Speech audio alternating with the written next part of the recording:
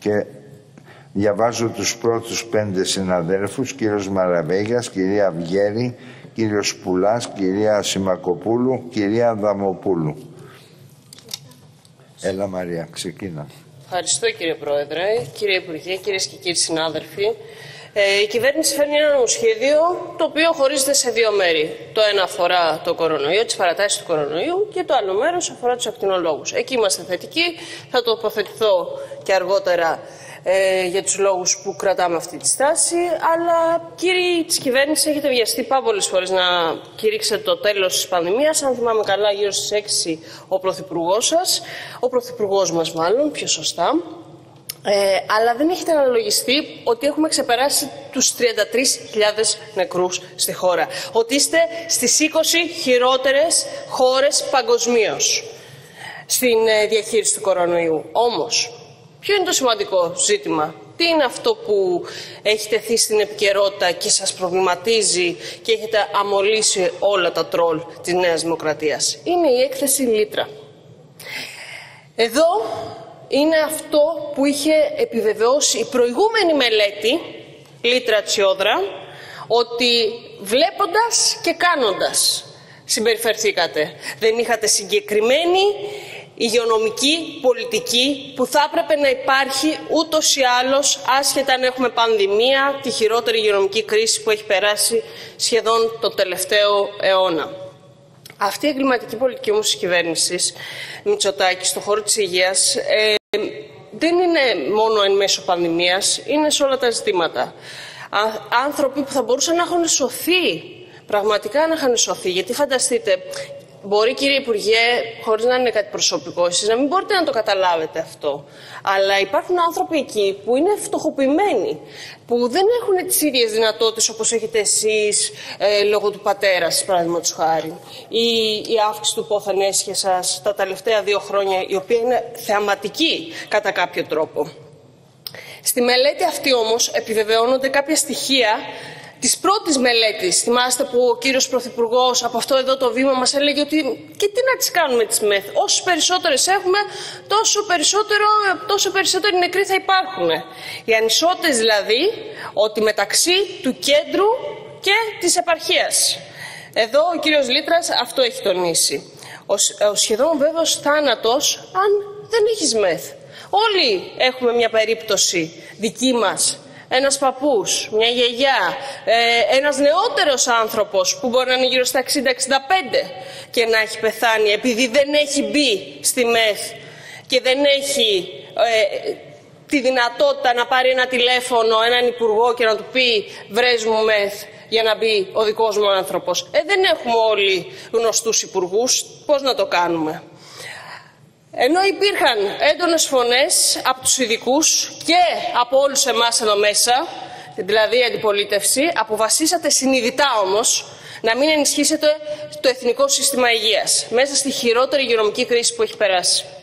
Η κυβέρνηση δηλαδή του κύριου Μητσοτάκη, ο ίδιος ο Πρωθυπουργός και οι υπουργοί, οι υφυπουργοί του, διαχειρίστηκαν αυτή τη τραγωδία και είναι υπόλογοι στον κόσμο αυτόν.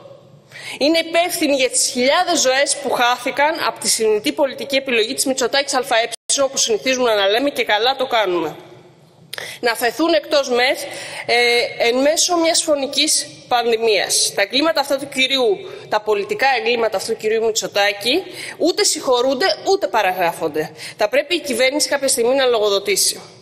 Το συγκεκριμένο νομοσχέδιο όμως περιέχει διατάξεις που παρατείνουν τα αποτυχημένα μέτρα που έφεραν τα τραγικά αποτελέσματα. Η κυβέρνηση προσποιείται πως η πανδημία πάει, πέρασε, τελείωσε. Έχει κηρύξει τη νίκη πάρα πολλές φορές. Παρ' όλα αυτά, παρατείνει ακόμα μια φορά τις ρυθμίσει και την αντιμετώπιση του. Εμείς, ως Μέρα 25, δεν πιστεύουμε σε καμία των περιπτώσεων ότι έχει τελειώσει η πανδημία. Δεν μπορούμε όμως να μην σημειώσουμε την αντιφατικότητα των μηνυμάτων που εκπέμπει αυτή η κυβέρνηση. Τα σημαντικότερα είναι ότι από τη μία ανοίγει την εκπαίδευση, χωρίς κανένα μέτρο προστασίας όπως έγινε πέρσι, ε, η έλλειψη μέτρων σε κλειστούς χώρους, που είναι σημαντικό, το ότι θα έπρεπε να υπάρχει πύκνωση των μέσων μαζικής μεταφοράς, όπως επίσης τα τραγελαφικά που σημειώθηκαν το καλοκαίρι με τη διαφορετική αντιμετώπιση των ντόπιων από τους ε, τουρίστες.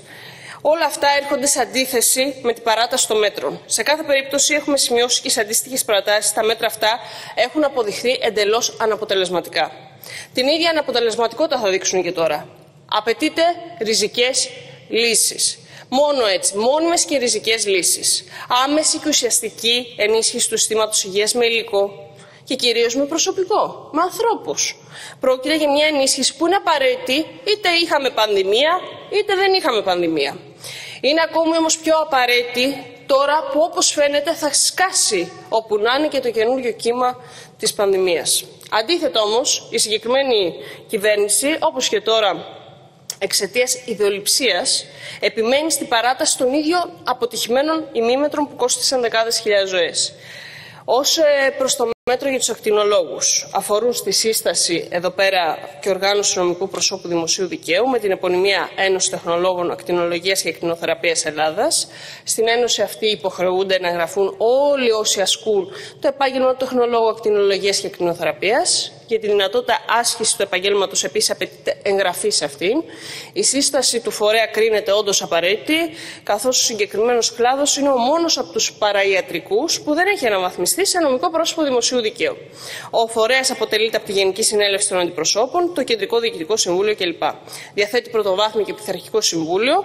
Πρόκειται για μια χρόνια εκκρεμότητα, την οποία τη λύνεται και καλά κάνετε πάνω στο θέμα των εργασιακών συνθήκων. Επιβοηθείτε δηλαδή μια τακτοποίηση σε ένα κλάδο τεχνολόγων που έχει αποφασιστική συμβολή στην εύρυθμη λειτουργία των νοσοκομείων. Είμαστε εννοείται θετικοί, σε καμία περίπτωση δεν μπορούσαμε να πούμε κάτι άλλο. Ε, βλέπουμε όμως την πάγια νομοθετική τακτική της κυβερνώσης παράταξης να αναμειγνύει τα καλά με τα κακά, δηλαδή τη σωστή κατεύθυνση και τη λάθος, ε, για να μας παγιδεύσετε, για να πείτε, κοιτάξτε, αυτοί τελικά δεν ψηφίσαν για τους ακτινολόγους, ενώ δεν ισχύει αυτό, είναι η παράταση των μέτρων της, ε, του κορονοϊού. Ε, εμείς βεβαίως δεν θα παραλείψουμε να ασκήσουμε κριτική που πρέπει στο υπόλοιπο νομοσχέδιο, γιατί πρόκειται για μεσοβέζικες πολιτικές. Δεν είναι κάτι το οποίο είναι ουσιαστικό, μόνιμο και ριζικό.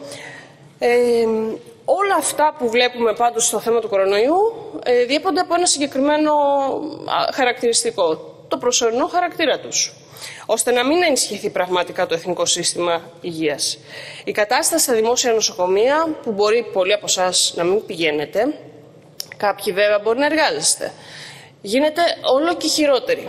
Τα περισσότερα καταραίουν χωρίς το απαραίτητο προσωπικό, χωρίς τα ε, τεχνικά μέσα, χωρίς το προσωπικό κλπ.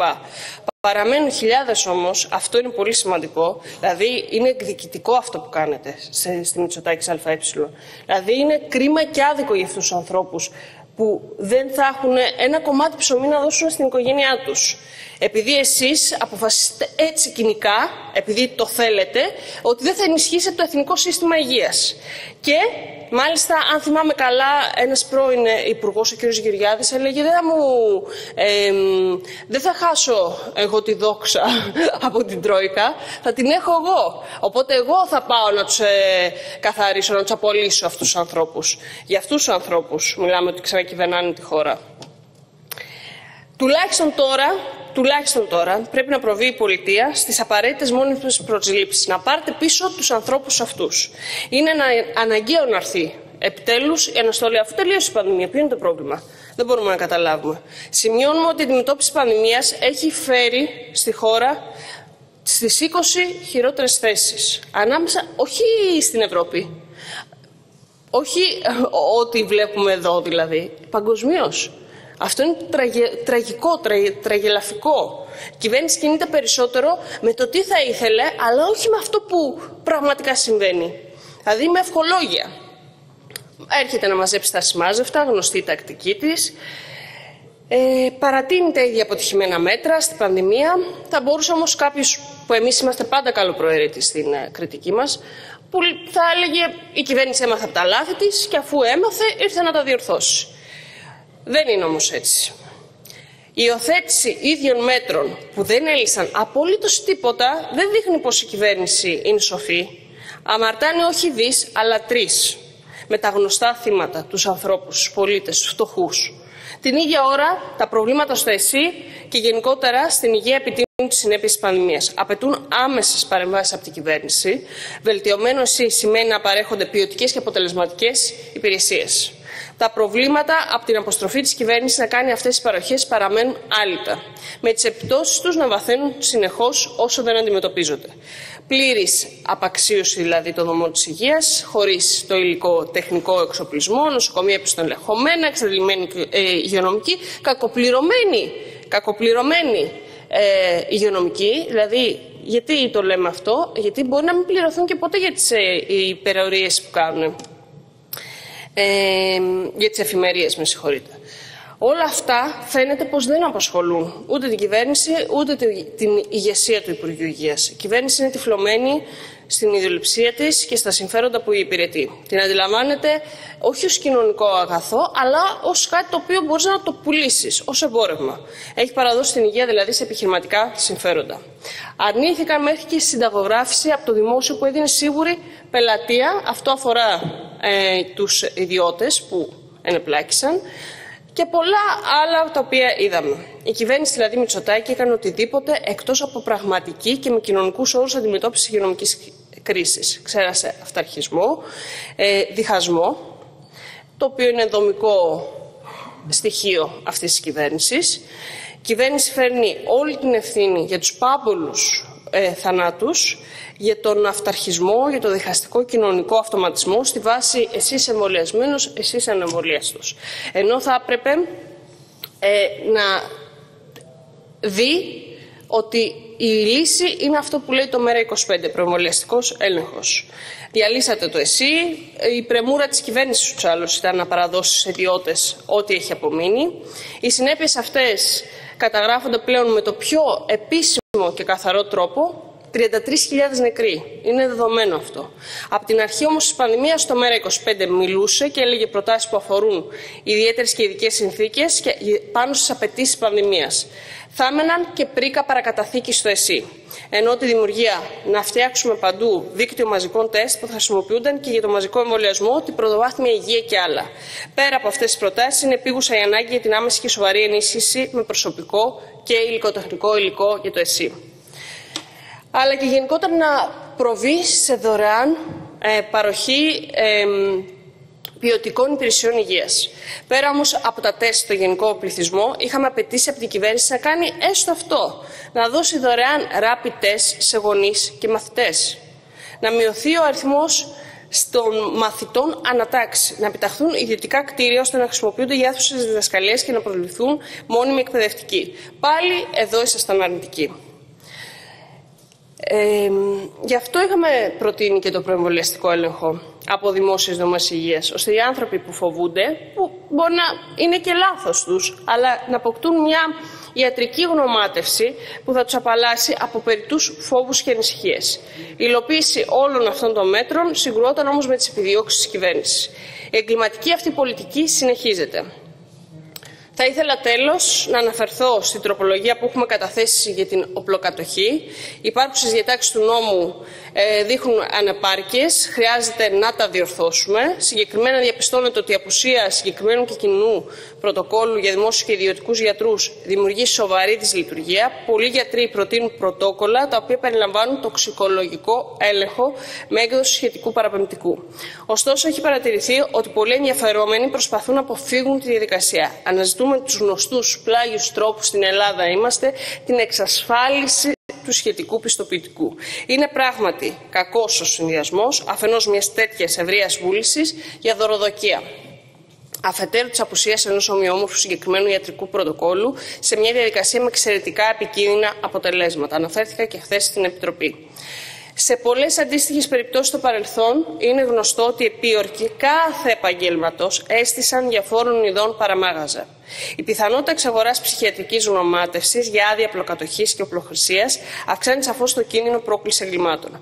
Αν σε αυτή τη συνθήκη αθροίσουμε και την μεγάλη ευρύτητα που υπάρχει στην παράνομη ε, οπλοκατοχή στη χώρα μας, ο επιπρόσθετος παράγοντας ρίσκου εκτινάσεται. Είναι λοιπόν αναγκαίο άμεσα να θεσπιστεί ένα τέτοιο ζήτημα. Οι γνωματεύσεις πρέπει να καταχωρίζονται με βάση ευαίσθητων προσωπικών δεδομένων. Η βάση αυτή χρειάζεται να διασυνδέεται καταοριζόμενος στο Γενικό Κανονισμό για την Προστασία των Δεδομένων με τη σχετική βάση δεδομένων της Ελλάδα. Επομένως, με την παρούσα τροπολογία, σκοπός της είναι η θεραπεία των ανώτερων των, των συγκεκριμένων ελλείψεων με σκοπό την προστασία των πιο ευάλωτων πολιτών. Αυτό μπορεί να μην το αντιλαμβάνεται κάποιος που μπορεί να ζει στο κέντρο της Αθήνας, αλλά στα δυτικά προάστια υπάρχει ένα πολύ σοβαρό ζήτημα πάνω στο θέμα της χρήσης όπλων.